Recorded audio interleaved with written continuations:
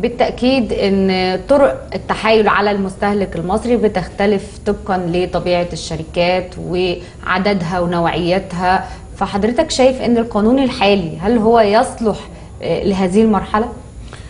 هو أكيد طبعا في تقدم في طرق التحايل أو طرق الغش. زي والتقدم التقني موجود والمتغيرات الموجودة على الساحة المجتمعية ده كان لازم تواجبه إجراءات تشريعية وإجراءات قانونية. البرلمان وافق على قانون جديد 181 سنة 2018 آه، اللي صدق عليه السيد الرئيس عبد الفتاح السيسي رئيس الجمهورية في 13 سبتمبر وصدرت اللائحة التنفيذية ليه في 2 إبريل هذا القانون كان لابد أن يواكب كل المتغيرات ويضع إجراءات وآليات تضبط السوق في مواجهة الإجراءات. القانون الجديد ده آه، آه، حط ضوابط عديدة للإعلان عن الأسعار. ضرورة ال- الزام التاجر أو مقدم الخدمة بالإعلان عن السعر. ده كان بيتم مواجهته بموجب قرار السيد وزير التموين 330 سنة 2017. بقى بموجب قانون. آه، رغم إن كل قرارات تقريبا وزير التموين بيرفضها اتحاد الغرف التجارية. وفي رفض قاطع لأي قرار لوزير التم- التموين خاص بوجود تسعيرة جبرية أو حتى استرشادية.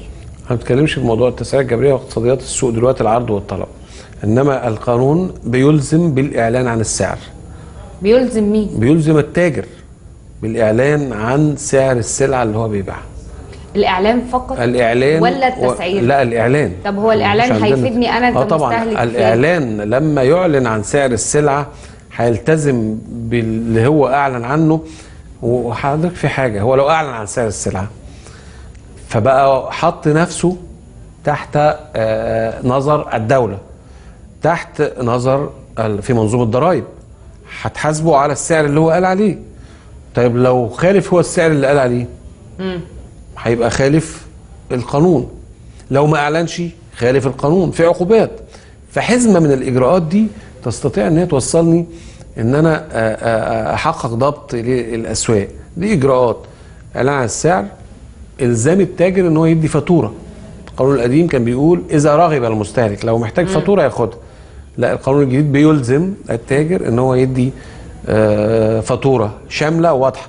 يعني ما يجيش يديكي بيان أسعار. لا ده مرفوض.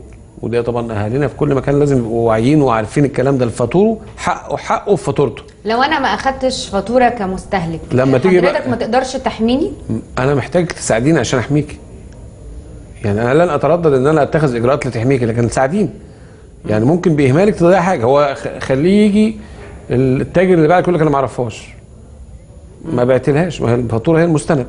طب أنت ليه تسيب نفسك كده؟ خد فاتورتك مش مش. مش هتكلف حاجة. والقانون بينص إن هو يعطي الفاتورة دون أي مقابل. مش لما أقول له هات لي فاتورة يقول لك طب هزود لك السعر بقى شوية طالما هتاخد فاتورة. لا. الكلام ده ممنوع تماما والقانون يمنع ذلك تماما وفي عقوبات على كده. يعني فدي إجراء إلزام فاتورة. القانون كمان الجديد واجه موضوع الإعلانات المضللة.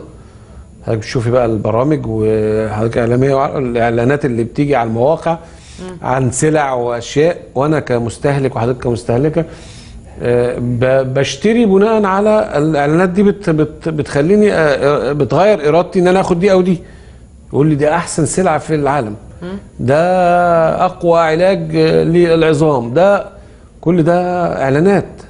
أيوه كل ده بقى بتؤثر على إرادتي فبختار بناء عليه. مواجهته بالقانون. ومنعه مسؤولية مين بقى ما هو بالقانون نظم القانون الجديد نظم ذلك أيوه مسؤولية مين بقى في القانون؟ مسؤولية الجهاز بالتنسيق مع الأجهزة المعنيه خلي بالك جهاز حماية المستهلك ما بيشتغلش لوحده ومفيش جهاز بيشتغل لوحده ومفيش فرد بينجح لما بيشتغل لوحده